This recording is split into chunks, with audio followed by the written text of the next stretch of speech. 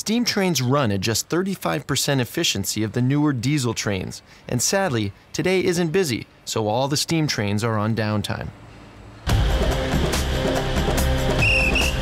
Instead, I'm jumping on this Russian locomotive with Mr. Vin, who's doing the rounds of the factory.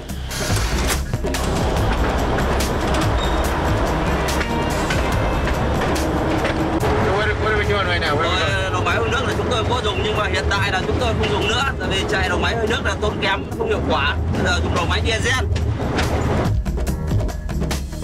Working in this steel factory is dirty and dangerous. It is in this blast furnace that the raw materials of sandstone, coal, and iron ore are loaded, only to erupt. Whoa, here we go. Let it flow. Look at that. So what's happening here? What's the step of the process of công đoạn này là sau khi quặng đã được đưa vào lò cao và luyện thành gang gang là chảy ra lò và sau công đoạn này là, là nước gang được chuyển sang nhà máy luyện thép để tinh luyện thành thép The liquid iron is channeled so it flows directly into the smelting pots on the train. What do we do with this iron liquid?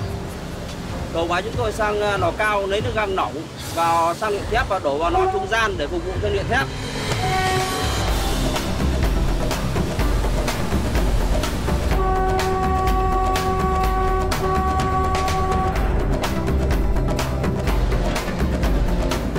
turn the liquid iron into steel, oxygen needs to be blown through the molten liquid.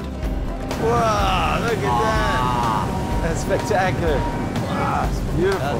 Magnificent. That is like the best fireworks show ever. Woo! From this oven, it is poured into different shaped molds, later left to cool down to become the final product of construction materials. Whoa, look how dramatic that is. All that smoke and water. That was cool. Exciting, huh?